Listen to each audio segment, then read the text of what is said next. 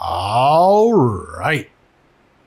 Now we're doing Free Code Camp, JavaScript algorithms and data structures, basic JavaScript, finding a remainder in JavaScript.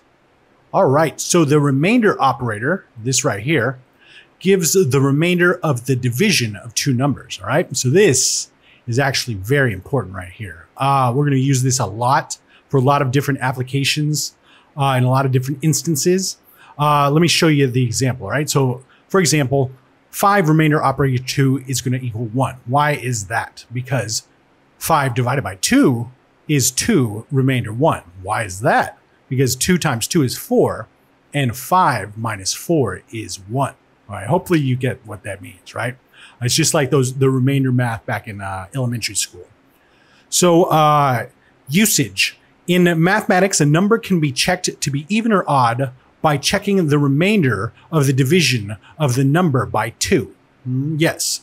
Even numbers have, pardon me, even numbers have a remainder of zero, while odd numbers have a remainder of one. All right.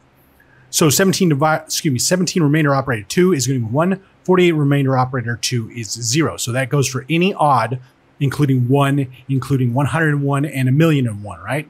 And this one includes zero. I don't know if it includes zero, uh, but I don't remember.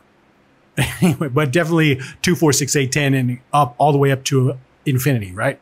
So here is a note right here, though. The remainder operator is sometimes incorrectly referred to as the modulus operator, and I called it that for a long time when I was uh, doing my uh, Code Wars video.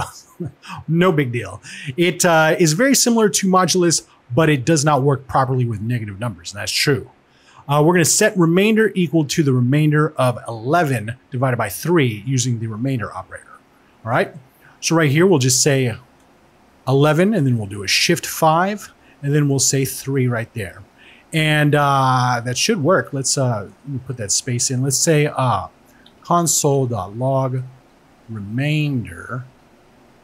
All right. And so it has 2 right there because uh, 11 divided by 3 would be like, hmm, Huh. What? Oh, what?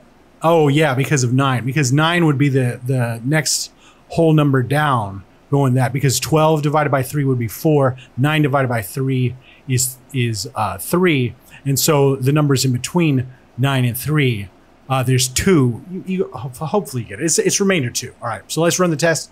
Looks good and submit it. All right. Now we're on to compound assignment with augmented addition and we'll see you next time.